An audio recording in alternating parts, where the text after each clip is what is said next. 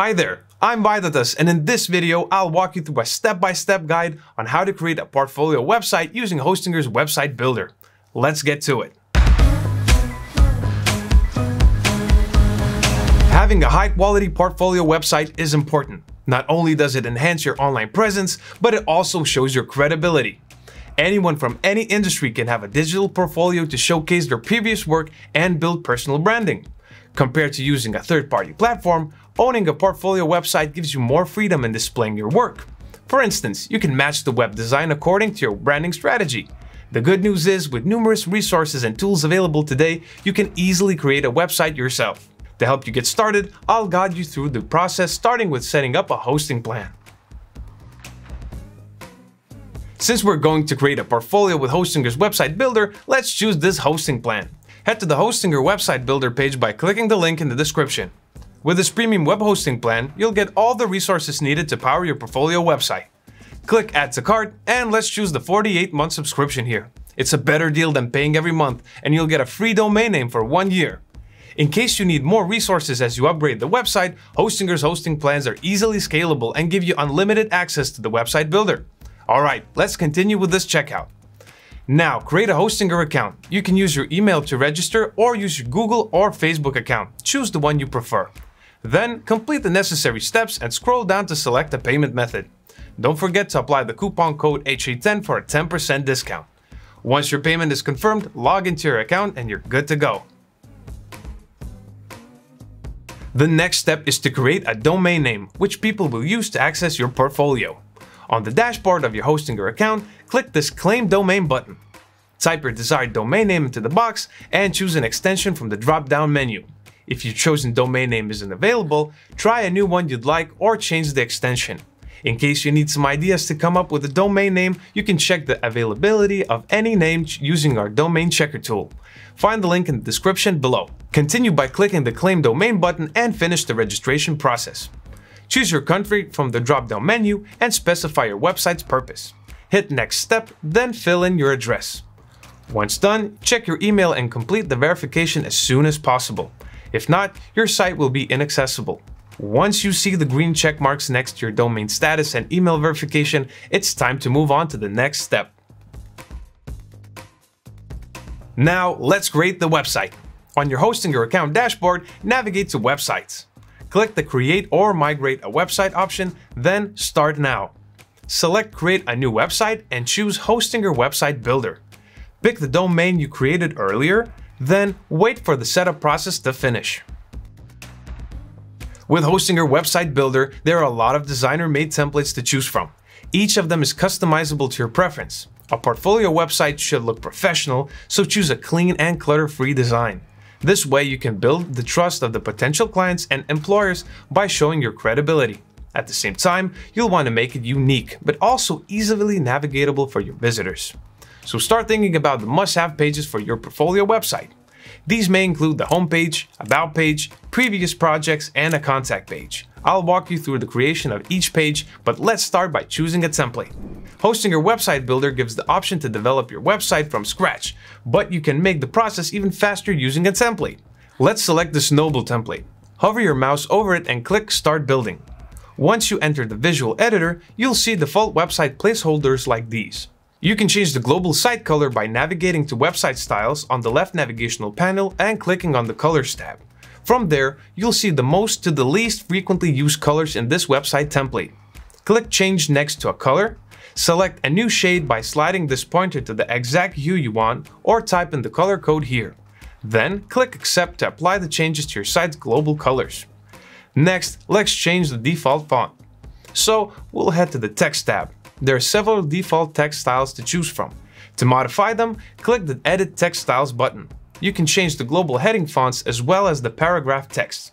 To change the color, block the text and click the text color icon. To tweak the font of a particular section of the text, block the words, click the drop-down menu, and choose the font you like. As for the page layout, just drag and drop any elements the area you like. To change the spacing, click on the sections container and press the gear icon to find the Layout tab. Adjust the height and gap here according to your preference. Next, customize the website's favicon. This will be displayed on the Browser tab next to your web page's title. By default, it will show a globe.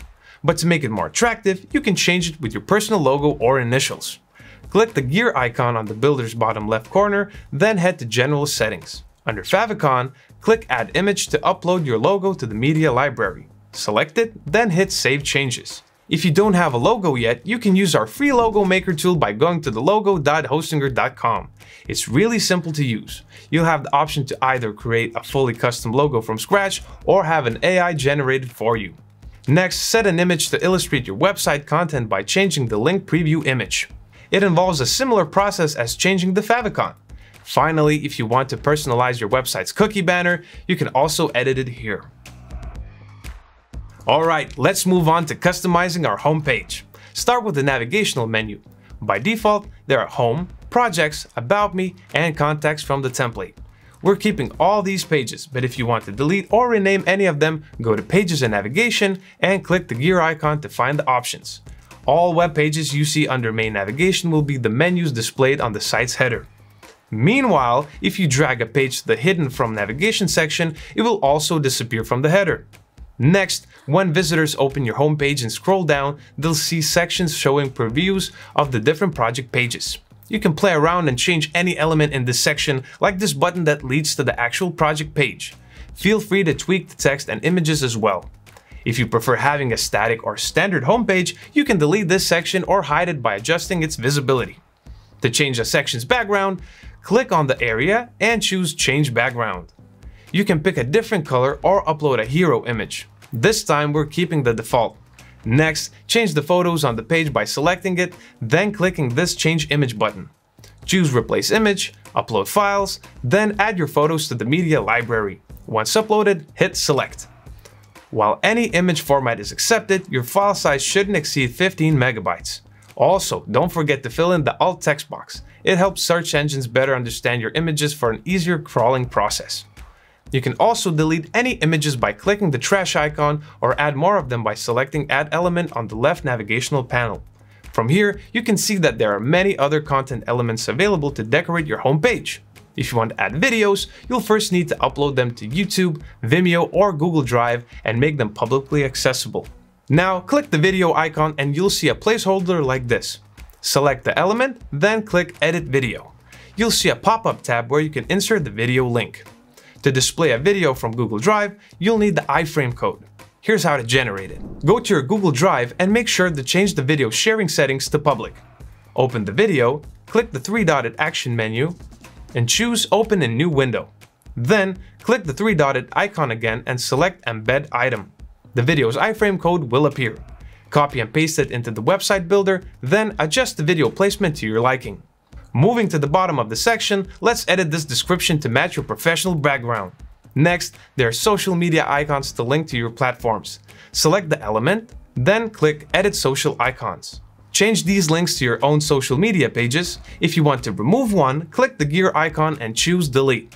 You can also add more links to display to your other websites or social media platforms. Play around with how you want to display these icons on the Style and Layout tabs.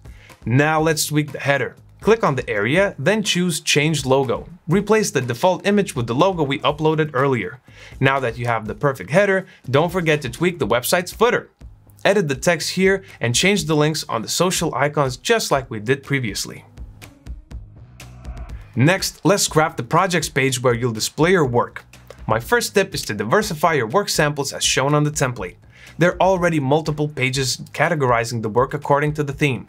Customize these by going to Pages and Navigation. To change the page's name and create a personalized URL, click the gear icon and choose Rename.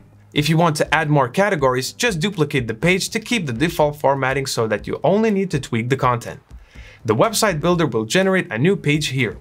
We just need to drag it under the projects category. It will be automatically adjusted as a drop-down option in the navigational menu, so all you need to do is rename the page. If you have fewer categories to show, find the delete option under duplicate. The second tip is to make your portfolio simple. Don't use too many descriptions or explanations and just let the quality of your work speak for itself. It's good to add a personal touch when presenting your portfolio, but remember to keep it professional. The last tip is to feature only your best work. Showcase the projects that make you feel the proudest. There's no need to include every project you've ever done, especially those that no longer meet your standards. This page is where visitors will get to know you better and connect deeper with your work. When creating an About Me page, remember to keep your message short and to the point. To convey professionalism, ensure there are no typos or grammatical errors. There are various ways to create an About Me page depending on the information you want to show. This template has an ideal composition, displaying a personal description, notable experiences, a summary of expertise, and a call to action leading to the contact page. In the personal description section, you can provide context about your passion for the industry or what truly inspires your work. Add a personal touch, then display your best portrait here. Moving on to the second section, show your experience in the industry. You can use numbers like this to make it easily skimmable. Or you can list achievements, notable projects, or any milestones you want to highlight. Display this section to convince clients and employers that you're someone they should work with. Next, give a little summary of what you can do. Focus on the work you've completed and tell them your area of expertise. If you feel this section isn't necessary, delete it by clicking the trash icon located on the top right of the section. Remember, you are free to customize these elements to fit your portfolio concept. If you need more pages or prefer other layout options, click this Add Section button. You'll see several options to customize. Play around with the text, pictures, or any other element, just like we did earlier. Moving on to the contact page, you'll see a contact form along with an email address and a phone number.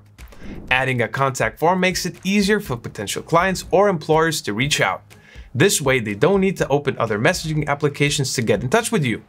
You can keep the contact form as it is, or if you have another idea, customize it by clicking this Edit Form button. You can add more fields, change the call to action button, edit the thank you message, and tweak the style. You'll get an email notification whenever you receive a response. To manage all submitted responses, navigate to website settings and choose form submissions. By clicking View List, you can find all submitted contact forms, export them as a CSV file, and delete them if necessary. Another powerful feature of Hostinger's website builder is the search engine optimization or SEO tool. Take advantage of it to get your portfolio ranking high on search engine results pages. That way people can find you more easily online. Access the tool by expanding the website settings tab, then head to SEO. Start by typing your website title and choosing your website language. After that, the website builder will prompt you to describe your site. Use relevant keywords and aim for the bar to turn green when writing. Keep in mind that you are not describing the entire website but a specific web page here, which you can check at the top of the pop-up window.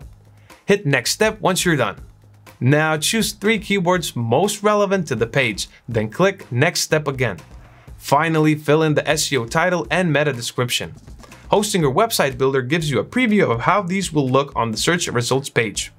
Now click Finish. You can see under SEO opportunities that a section of the bar has turned green.